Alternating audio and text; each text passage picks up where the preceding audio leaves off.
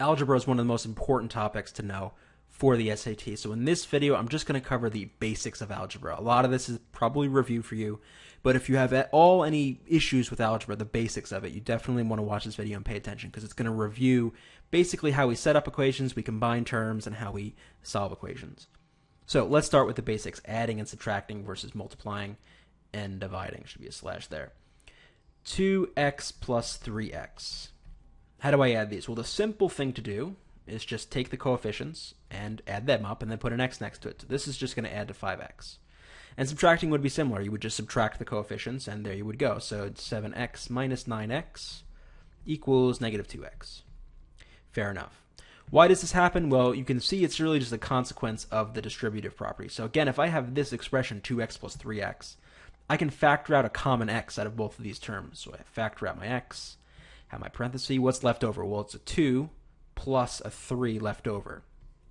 What's 2 plus 3? Well, 5. So this is just 5 times x. That's where it comes from, but the shortcut is you just add the coefficients and there you go. What about something like this? 4x minus negative 2x plus x squared. Well, I can go ahead and kind of distribute my negative. I'll get 4x plus 2x plus x squared. And that's the same thing as 6x plus x squared. But notice I have to stop because I can only add these terms when my x's have the same exponent. So here it's a 1, just not written, and this is a 2. So I can't combine these in any way. You cannot combine these terms when you're adding. If you had something like 3x squared plus 7x squared, then yeah, they're both x squared, so I'll just combine those to 10x squared. So that's a very important part. Know that when you add them or subtract them, they have to have the same number of x's in order for you to combine them.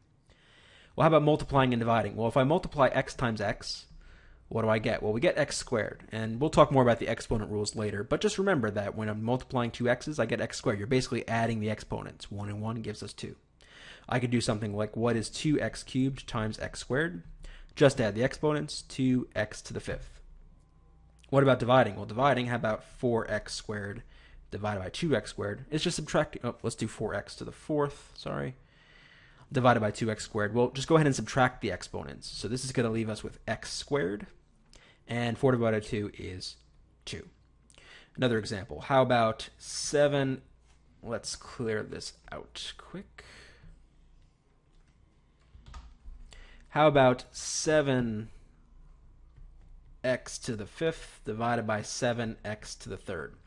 Well, we're subtracting the exponents. One way you can see this so that it makes sense is remember what an exponent is. It just means times that many times. So this is the same thing as 7 times x times x times x times x times x, right? 5 x's divided by 7 times x times x times x, 3 x's. And then I just start canceling. 7 here, 7 here, x, x, x, x.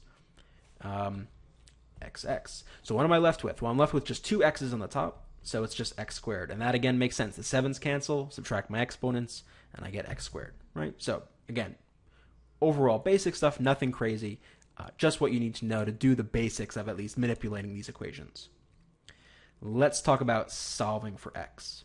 Now, when you're solving for x, there are two major rules to doing algebra equations. The first rule, the objective really, is you want to get x by itself. You want to get x equals something, preferably some number, right? You want to, that's the whole point of algebra, is to find that solution.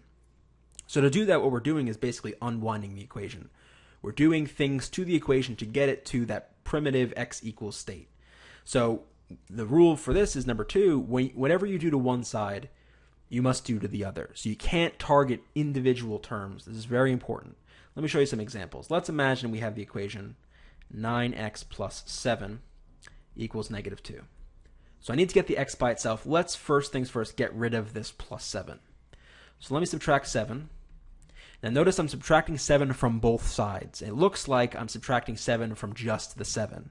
And in a sense, I'm doing that. But it's just because, you know, you're subtracting it from both sides, and where this goes, you can put it anywhere you want. So I'm just going to have the 7 cancel the negative, you know, this negative 7 cancel the positive 7. So that's one thing. It's going to matter when we get to the multiplying or dividing part. Let's actually make this 9x divided by 6. Actually, 9x over 5. All right, so I go ahead and I subtract that. So this becomes 0 plus 9x over 5. And this equals negative 2 minus 7 is negative 9. Okay, well, what do I do now? Uh, so this is the same thing as 9x over 5 equals negative 9.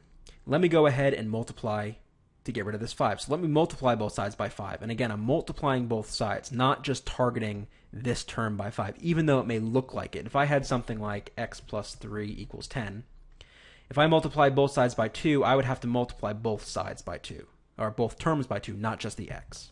That's what I mean by you can't target individual terms. So going back to this, the 5's cancel. We're left with 9x equals negative 45. Let me divide both sides by 9 to get rid of the 9 here. And I'm left with x is negative 5, which would be the answer for this particular question.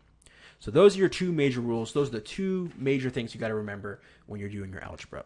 So those are the basics of algebra. Obviously, we're going to see a lot more questions in the math uh, bootcamp and in the SAT Math Tactics series.